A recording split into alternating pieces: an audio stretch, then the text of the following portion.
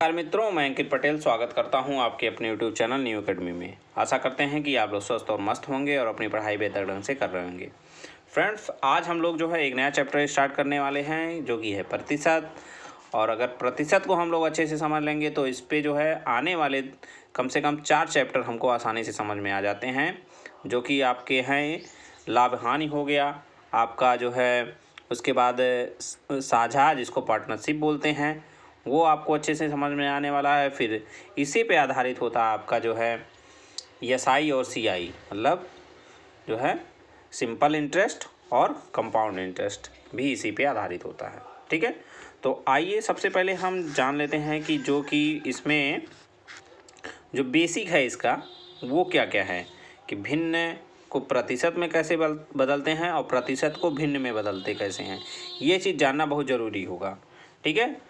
तो उस चीज़ को जानने से पहले हम लोग ये देख लेते हैं कि प्रतिशत में किस टाइप के प्रश्न बनते हैं। मतलब प्रश्नों का पूछने का तरीका क्या क्या है उसमें?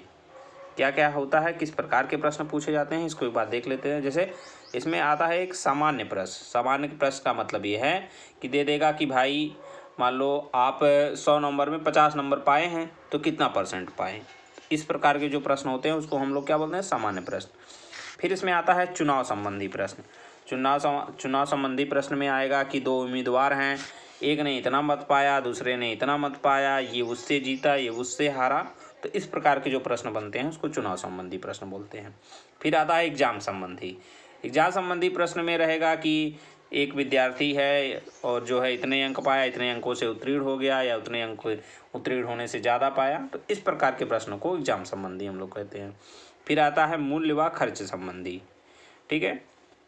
इसमें क्या रहेगा कि जो है दे देगा कि चीनी का मूल्य तीस रुपये है उसमें बीस परसेंट की वृद्धि हो जाती है। तो पहले जितना चीनी पाता था उससे दो किलो कम पाता है। तो इस प्रकार के प्रश्न इसमें पूछे जाते हैं। आ, आगे है जनसंख्या संबंधी प्रश्न। जनसंख्या संबंधी प्रश्न में ये पूछा जाता है कि एक नगर की जनसंख्या मान लीजिए दो हज़ार है दो वर्ष के बाद बीस परसेंट बढ़ जाती है। तो दो वर्ष के बाद जो है उसकी जनसंख्या कितनी हो जाएगी?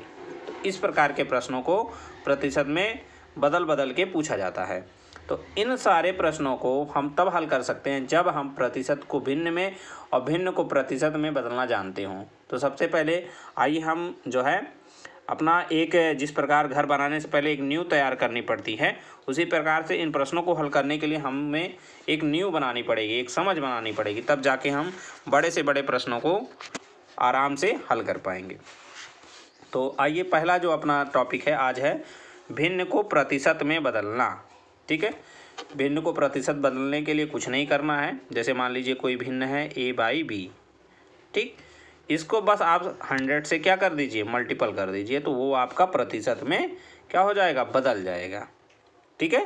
तो यहाँ पे हमने देख लिया, लिखा भी है, एक बटा ए बाई बी भिन्न है तो ए बाई बी इंटू आप हंड्रेड कर देंगे तो किसमें बदल जाएगा? वो आपका बदल जाएगा प्रतिशत में। तो वही चीज़ हमने यहाँ आपको लिख के अलग से बता दिया। अब आइए इस पर बेस्ट क्वेश्चन देख लेते हैं। जैसे कुछ एग्ज़ाम्पल को देख के समझ लेते हैं। एग्ज़ाम्पल के थ्रू इसको कैसे हल करेंगे? जैसे है, एक बटा दो तथा एक को प्रतिशत में बदलो। ठीक है? तो हमने क्या किया? कुछ नहीं करना है। भिन्न में एक बटा दो भिन्न है अपना। उसको कितने से, सौ से मल्टीपल कर दीजिए। तो एक बटा दो गुड़े सौ करेंगे तो दो एक का नम दो और दो से जब काटेंगे तो पचास तो आ जाएगा पचास परसेंट। अब एक को देखेंगे। तो एक को हम एक बटा एक बटा सॉरी एक बटे एक भी लिख सकते हैं, ठीक है? एक बटा एक लिखेंगे तो आप एक को जब सौ काटेंगे तो सौ बार जाएगा तो मतलब एक का कितना आ जाएगा? एक कितना है? हंड्रेड परसेंट है। अगर दो को निकालेंगे तो कितना आएगा? दो सौ परसेंट आ जाएगा, ठीक है? फिर आगे कुछ और एग्ज़ाम्पल है। जैसे एक बटा तीन, एक बटा पाँच तथा एक बटा सात को प्रतिशत में बदलो। कुछ भी दिया हो एक बट्टा दस दो, एक बट्टा पचास दे, एक बट्टा बीस दे। कुछ नहीं करना है, एक बट्टा उतना गुड़े सौ कर देना है। तो एक बट्टा तीन गुड़े हम सौ कर देंगे। तो कितना आ जाएगा इसको जब आप काटेंगे तो तैंतीस से ही एक बटा तीन आ जाएगा। एक बटा पाँच गुड़े सौ करेंगे तो पाँच एक नम पाँच। और पाँच से इसको काटेंगे तो बीस आ जाएगा तो बीस परसेंट हो जाएगा। अब एक बटा सात गुड़े सौ करेंगे तो नहीं कटेगा, फिर इसको भिन्न में बदल लेंगे आप। तो जो है काट, अगर काट के करेंगे, चौदह सत्तर अट्ठानबे दो सौ। चौदह सही दो बटे सात परसेंट। ठीक है? इतना आ जाएगा। अब ये तो हम समझ गए कि भिन्न को प्रतिशत में कैसे बदलते हैं। ठीक? अगर कहीं प्रतिशत दिया है तो उसको भिन्न में कैसे बदलेंगे? तो अभी ये चीज़ हम लोग सीखते हैं। इसमें क्या होगा? प्रतिशत को भिन्न में बदलने के लिए, जैसे वहाँ जो है भिन्न को प्रतिशत में बदलने के लिए सौ से गुड़ा करते थे, अब यहाँ प्रतिशत में को भिन्न में बदलने के लिए सौ से आप क्या करेंगे? भाग कर देंगे। तो यहाँ पे देखिए हमने लिखा है प्रतिशत बराबर प्रतिशत बराबर अगर कहीं दिया है, उसको भिन्न में बदलना है तो प्रतिशत बटे सौ कर देंगे तो वो किसमें बदल जाएगा? भिन्न में बदल जाएगा। ठीक? तो आइए इसको कुछ एग्ज़ाम्पल से समझ लेते हैं। जैसे यहाँ पे दिया पचास परसेंट। ठीक है, क्या दिया है? पचास परसेंट। तो इसको पचास और सौ से भाग कर दीजिए तो पचास से करना पचास पचास दूना सौ, बराबर एक बटा दो आ जाएगा भिन्न में। ठीक है? और कुछ एग्ज़ाम्पल जैसे पच्चीस परसेंट, बीस परसेंट अस्सी परसेंट और सत्तर परसेंट को भिन्न में बदलिए तो पच्चीस परसेंट के लिए क्या करेंगे? पच्चीस बटे सौ कर देंगे। तो पच्चीस से करना पच्चीस पच्चीस चौका सौ बराबर एक बटा चार, ठीक? अब बीस के लिए क्या करेंगे? बीस बटे सौ कर देंगे, ठीक? बीस बटे सौ कर देंगे तो बीस बटा सौ हो जाएगा तो एक बटा पाँच आएगा। अस्सी के लिए क्या करेंगे? अस्सी बटे सौ कर देंगे तो चार बटे पाँच आ जाएगा। अगर सत्तर परसेंट के लिए करेंगे तो सत्तर बटे सौ करेंगे तो ज़ीरो ज़ीरो कट जाएगा, सात बटे दस। भिन्न में आ जाएगा। तो आप लोग जो बेसिक है, उसको सीख गए हैं, कुछ विशेष इसमें है नहीं। भिन्न को बस ध्यान रखिए, दो चीज़ बस ध्यान रखना। अभी तक जितना हमने बताया, अभी तक दो ही चीज़ ध्यान रखना है। अगर भिन्न को प्रतिशत में बदलना है तो भिन्न गुड़े सौ कर दीजिए, और प्रतिशत को भिन्न में बदलना है तो जो है प्रतिशत बटे सौ कर दीजिए। बस इतना ही करना है। अभी तक जितना हम लोगों ने पढ़ा, उसके आधार पर एक चार्ट बनाए हैं हम लोग। यहाँ महत्वपूर्ण जो प्रतिशत हैं, ठीक है? भिन्न को प्रतिशत में कैसे और प्रतिशत अगर है तो उसको भिन्न में कैसे बदला जाता है, उसी आधार पे जैसे इसको जो अगर आप लोग याद कर लेंगे, क्योंकि क्वेश्चन में ये चीज़ दिया रहेगा, अगर आप वहाँ से कन्वर्ट करेंगे तो आपको टाइम लगेगा। इसको याद जब रहेगा तो आपका समय बचेगा और परीक्षा में आप ज़्यादा से ज़्यादा प्रश्नों को हल कर पाएँगे। ठीक है? तो यहाँ पे आपको क्या दिया है? फ्रैक्शन वैल्यू दी हुई है मतलब भिन्न वाली वैल्यू दी है, उसी के साथ में उसका प्रतिशत वैल्यू भी दिया हुआ है। तो आइए देखते हैं, जैसे एक बटा दो है। एक बटा दो को अगर प्रतिशत में बदलना है तो हम बताएँ, एक बटा दो गुड़े क्या करेंगे? सौ करेंगे। तो आप जब इसको काटेंगे तो पचास परसेंट आ जाएगा। ऐसे एक बटा तीन करेंगे तो एक बटा तीन गुड़े सौ होगा, तैंतीस सही एक बटा तीन आएगा, एक बटा चार पच्चीस आएगा, एक बटा पाँच बीस आ जाएगा। ठीक है? एक बटा छः कितना आ जाएगा?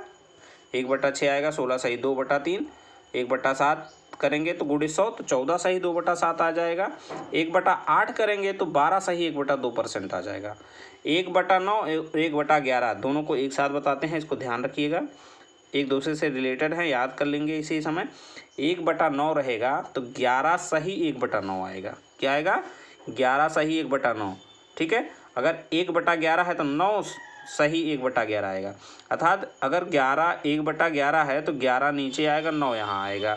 अगर एक बटा नौ है तो नौ नीचे आएगा, ग्यारह ऊपर आएगा। देख रहे हैं, दोनों एक दूसरे से अपोजिट है। मतलब एक बटा नौ रहेगा तो ग्यारह बाहर आएगा, नौ नीचे आएगा। एक बटा ग्यारह है तो नौ बाहर आएगा और ग्यारह नीचे आएगा, ठीक है? तो इस प्रकार याद कर लेंगे। एक बटा बारह है तो आठ सही, एक बटा तीन आ जाएगा, ठीक है? इसको आप गुड़े सौ करके देख भी सकते हैं और इसके बाद इसको आप लिख के चार्ट से याद कर लीजिए, क्योंकि अगर ये याद रहेगा तो आपका परीक्षा में समय बचेगा, नहीं तो आप पहले जो है उसको गुड़ा करके सौ से फिर मल्टी जब फिर उसको प्रतिशत में बदल लेंगे टाइम लग जाएगा, ठीक है? इसमें दो तीन काफ़ी महत्वपूर्ण हैं जो बार बार पूछे जाते हैं।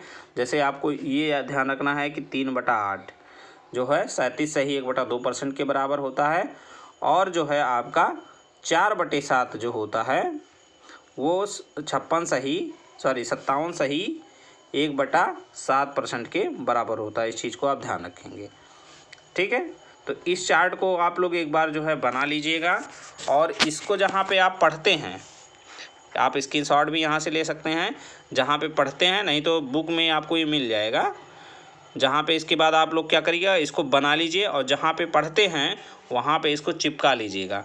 एक से दो बार देखेंगे, एक बार सुबह उठ के देख लीजिए। फिर उसको कहीं पे जाइए तो मन में ऐसे देखिए, एक बटा दो बराबर, एक बटा पचास, एक बटा तीन बराबर तैंतीस से एक बटा तीन। और इसको मोबाइल में खींच के रखे रहिए। जहाँ पे जाइए, उसे आप याद करते रहिए। फिर शाम को एक बार देख के सो जाइए। एक दो दिन करेंगे, आपको याद हो जाएगा। फिर आने वाले समय में आपका जो है परसेंटेज आपको बहुत आसान लगने लगेगा, क्योंकि परसेंटेज में कूड़ा भाग ही करना रहता है। अगर ये याद रहेगा तो कोई दिक्कत आपको नहीं होने वाली है। तो ठीक है मित्र, आज का वीडियो हम लोग यहीं तक रखते हैं। मिलते हैं कल। एक, जो है, एक नए टाइप टाइप को पढ़ेंगे, सामान्य प्रश्नों को हल करेंगे, ठीक है? तब तक के लिए आप लोग जो है पढ़ते रहिए और इसको चार्ट बना के याद कर लीजिए, ठीक है?